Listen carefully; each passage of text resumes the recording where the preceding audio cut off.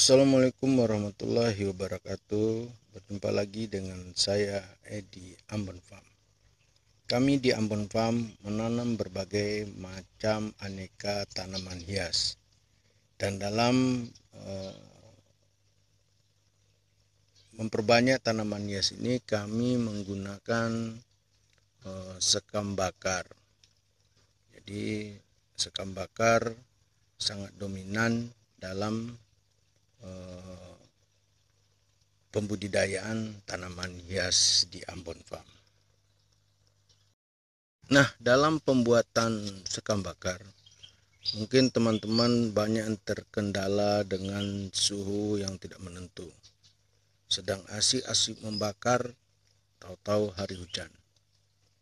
Nah, kami di Ambon Farm akan membahas bagaimana memproduksi sekam bakar di saat musim hujan tiba. Untuk uh, memproduksi sekam bakar tersebut, kami membangun konstruksi dengan peralatan yang sangat sederhana, di mana kita uh, menyiapkan besi angker, eh, pipa besi yang kecil, lalu seng secukupnya. Konstruksi ini kita bikin uh, sistem knockdown. Pada tungku pembakar sekam kita meletakkan pada sisi kiri dan kanannya dua batang pipa.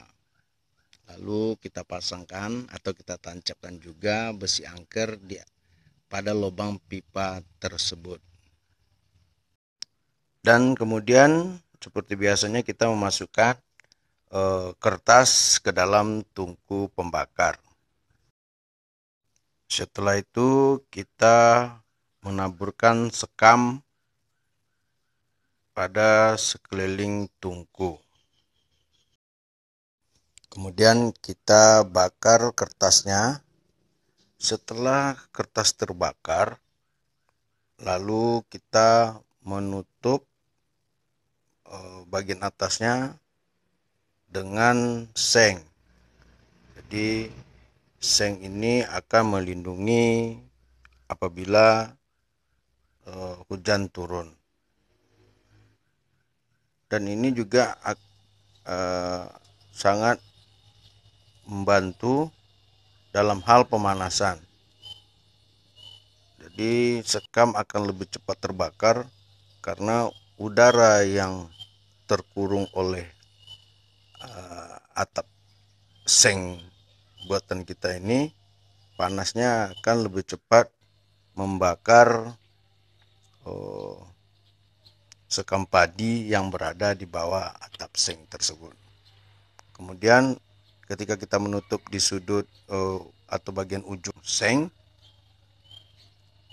uh, terlihat asap tidak uh, keluar ke mana-mana. Jadi kita bisa mengarahkan asap tidak mengganggu permukiman warga.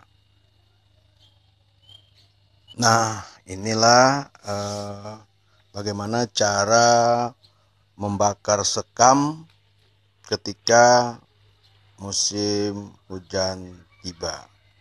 Jadi, aktivitas tetap lancar. Sampai bertemu lagi di konten yang lain. Kami Ambon Pa mengucapkan Assalamualaikum warahmatullahi wabarakatuh.